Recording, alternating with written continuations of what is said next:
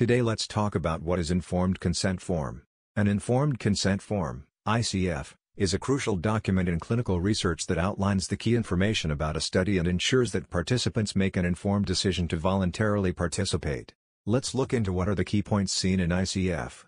Study title Research objective Study procedure Duration of the study Participants' eligibility like age and health conditions Risks and benefits Financial information like compensation and reimbursement Confidentiality agreement IRB and ethical approval from government Patient signature and guardian signature for children participant So, why is ICF so important for research?